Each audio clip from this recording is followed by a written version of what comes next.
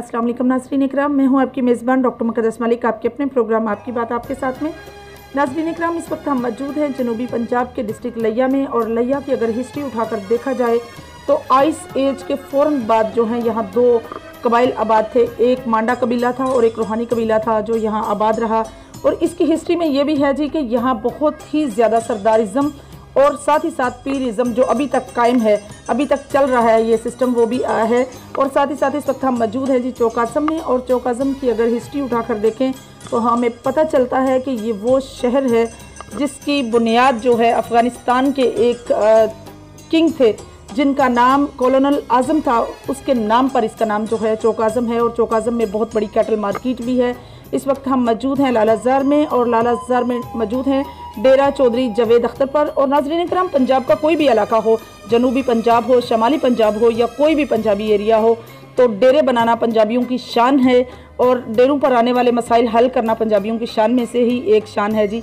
इस वक्त हमारे साथ मौजूद हैं समाजी और सियासी शख्सियत, जिन्होंने अपने इलाके में फोर टाइम इलेक्शन कंटेस्ट किया और हर दफ़ा विन किया और बहुत अच्छे मार्जिन के साथ विन किया। और अगर उनके फादर की बात की जाए तो उनके फादर चौधरी वली मोहम्मद साहब जो हैं उनका ये है कि जी वो अयूबी दौर में चेयरमैन रहे हैं इसी लालाजार यूसी के और साथ ही साथ बहुत बड़ी समाजी शख्सियत भी रहे हैं। वालेकुम जी। वालेकुम सलाम जी। कैसे मिजाज हैं आपके? साहब बिल्कुल अच्छे अल्लाह का शुक्र है अल्हम्दुलिल्लाह। सर सबसे पहला मेरा आपसे सवाल ये है कि आपका पेशा चूँकि एग्रीकल्चर से रिलेटेड था आपने सियासत ज्वाइन की चूँकि सियासी आपका बैकग्राउंड भी था तो जब आपने सियासत ज्वाइन की तो आपका मिशन क्या था? डॉक्टर साहब सबसे पहले तो मैं आपको और अपनी आपकी टीम को।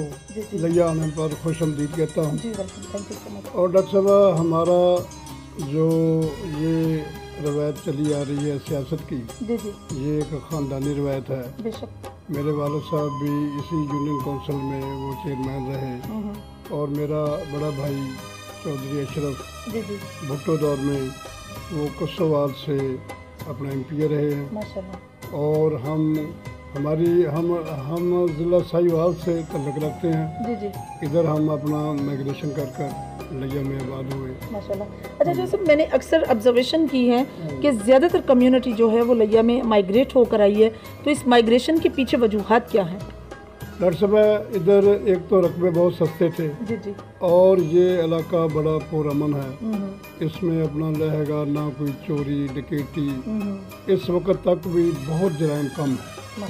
और इस इलाके को लोगों उधर के लोगों ने अपर पंजाब के लोगों ने इस इलाके को बहुत पसंद किया। रकबा बहुत सस्ता था। हम्म, और वो इस इलाके में अपना रहेगा उन्होंने आके रकबे खरीद किए हम्म, और वो इधर आबाद हुए। हम्म, हाँ बहुत अच्छा इलाका है।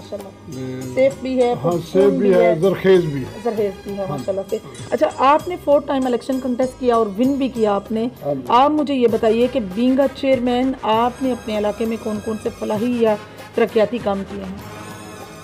देखो डॉक्टर साहब जब आदमी सियासत में आता है तो उसका एक मकसद होता है। हमारा मकसद लोगों की खिदमत करना था। और हमने इस वक्त मेरी उम्र तकरीबन बारह साल हो गई है। हम्म, मैं कॉलेज से फ़ौर जब फारग हुआ हम्म, तो इधर हमारा ज़िम्मेदारा है और इसके अलावा मैंने सियासत में बढ़ चढ़ कर हिस्सा लिया। हम्म, और मैंने ज़िला कौंसिल के चार इलेक्शन लड़ा हूँ। एक इलेक्शन हारा हूँ। तीन इलेक्शन मैंने विन किए। और मकसद यही था कि लोगों की खिदमत करनी। यहाँ के लोग गरीब लोग हैं। हम्म, इधर में कोई अपना मिलने वगैरह नहीं है। बिल्कुल सही। बेरोज़गारी है। हम्म, तो इसलिए अपना रहेगा हमने लोगों की इलेक्शन जीते हैं या हारे हैं। हम्म, हमने गरीब लोगों के साथ हमेशा उनका साथ दिया है और उनकी अमदाद की है। जी बिल्कुल ऐसे ही है जी। आपके इलाके के लोग बहुत अप्रिशिएट करते हैं आपको।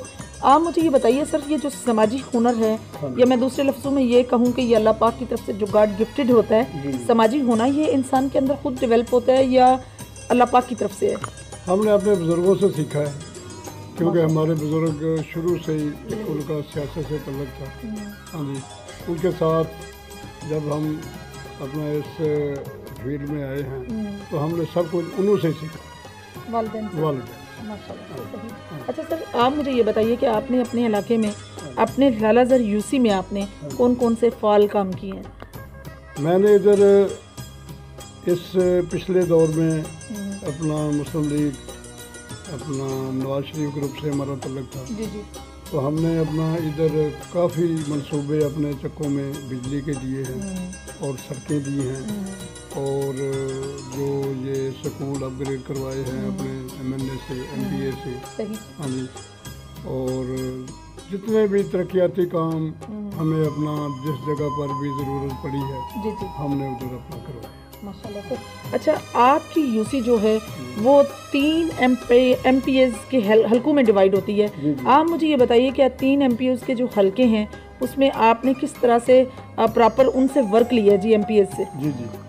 देखिए हमारी यूनियन काउंसिल ये जो ये दौर गुजरा है इसमें अब जो इलेक्शन तरीके इंसाफ के हुए हैं हम्म, इसमें अपना एक एम पी ए का हल्का बन गया था। वो है लाला तैर का हल्का। रंधावा साहब का। जी जी। इससे पहले हमारी यूनियन काउंसिल तीन हल्कों में तकसीम थी। कैसर खां मगसी हमारा एम है हमारा जहाज़ एम रहा और लइे से मुख्तलिफ़ हर दफ़ा निया आदमी था।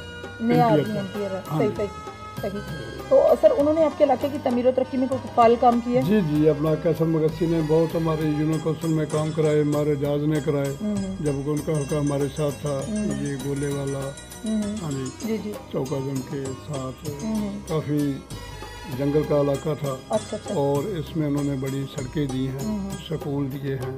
बहुत तरक्याती काम उन्होंने करवाया अच्छा। सर माशाल्लाह आप आपका फैमिली बैकग्राउंड से ऐसे से मंसली का और काफ़ी एक्सपीरियंसड है आप। हाँ आप मुझे ये बताइए कि ये जो आ, चेंज किया है तंजीमी ढांचा प्राइम मिनिस्टर साहब ने हाँ आपकी क्या ज़ाती राय है कि विलेज कौंसल से पंचायत कौंसल से या विलेज का जो रिकॉर्ड है तहसील पे शिफ्ट करने से आवाम को फ़ायदे होंगे या नुकसान डॉक्टर साहब ये देखें कि अभी तक तो ये कुछ भी नहीं बना। हम्म, ये अपना अभी तक तो ना बलदियाती इलेक्शन हुए हैं। हम्म, जब हम अपना जिस वक्त ये हुकूमत आई है हम उस वक्त चेयरमैन थे। हम्म, ये दो साल हमें करने दिया इन्होंने। हम्म, उसके बाद इन्होंने डिज़ाल्व कर दी हम्म, अपना इदारे। हम तो अभी तक तो कुछ भी नहीं देख रहे। कुछ देखेंगे तो फिर इस के मतलब अपना दिल हैगा करेंगे बात। हाँ अच्छा आने वाले बलदियाती इलेक्शन में आप इलेक्शन कंटेस्ट करेंगे।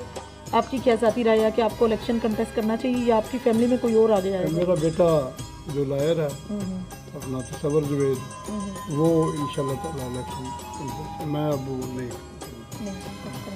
अच्छा तो मुझे ये बताइए कि आप अपने इलाके में कौन कौन से मसाइल जो हैं आपको नज़र आते हैं? और अगर बात की जाए चौक आज़म की तो आप पॉपुलेशन के अतबार से आपकी क्या ज़ाती राय है? कि उसे तहसील बनना चाहिए? डॉक्टर साहब इस वक्त हमारे इलाके में जो पानी है ना पीने का हम्म, इसका बड़ा मसला है। कि हमारा जो ज़मीनी हकैक हैं वो पानी अच्छा नहीं रहा। हम्म, इसमें काफ़ी सारियाँ इस पानी से बीमारियाँ पैदा हो रही हैं हेपेटाइटिस सी वगैरह। हम्म, इस- वक्त तो मेन मसला हमारा पानी का है। और इधर अपना रकबे का पानी भी कम है। सही।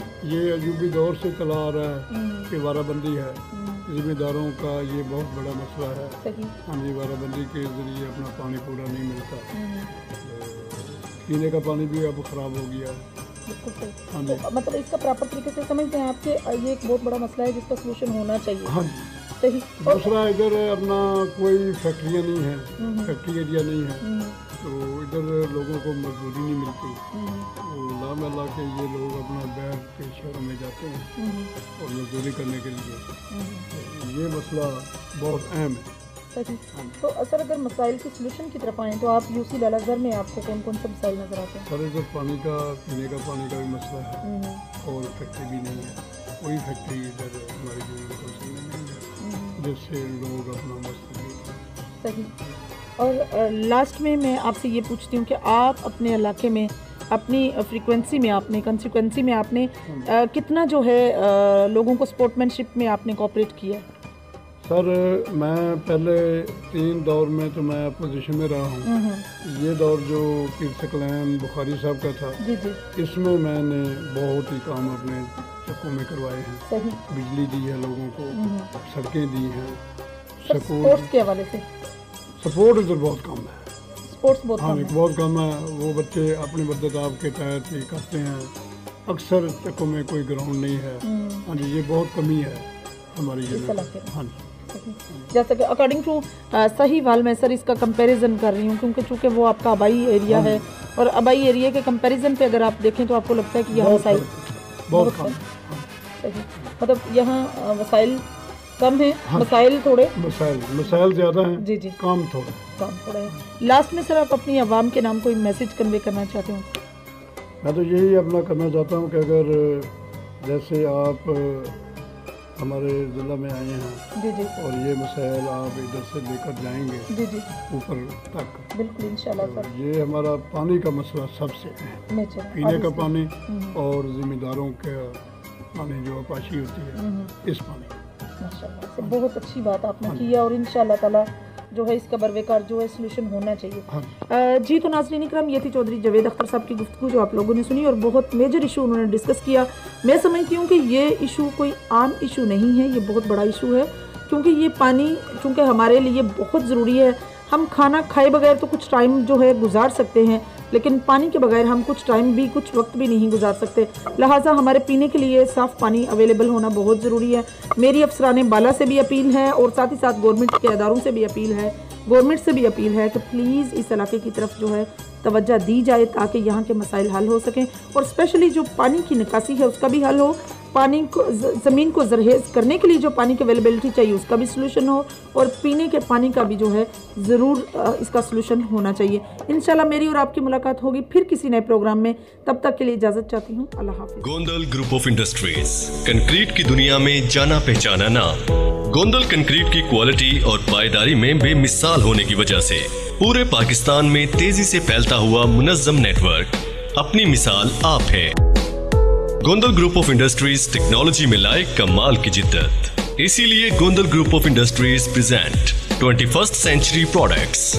Gondal U PVC की नालीदार छतें और दीवारें। इंटरनेशनल स्टैंडर्ड के एन मुताबिक pre engineered building state of the art plants पर तैयार करता। यू पीवीसी शीट आपको दे हर मौसम में मुकम्मल तहफुज और सुकून। जंग, शोर इलेक्ट्रिक करंट और आग से मुकम्मल महफूज। लीकेज से महफूज जोड़ और वाटर प्रूफ स्क्रूज के साथ। ओस के कतरों और हर किस्म के केमिकल से महफूज। सूरज की शुआओं और दीगर केमिकल से आपकी दीवारें और छतें रहें मुकम्मल महफूज। गोंदल यू पीवीसी की नालीदार छतें और दीवारें, दें बगैर बिजली के मुकम्मल रोशनी और टर्बो वेंटिलेटर की बदौलत, बगैर बिजली के पंखे जैसी हवा। दीदा जेब रंगों में इंतहाई मुनासिब कीमत पर दस्तियाब 25 साल वारंटी और बाद हजा पचास दफ़ा recyclable Gondal group of industries की यू यूपीवीसी नालीदार छतें और दीवारें।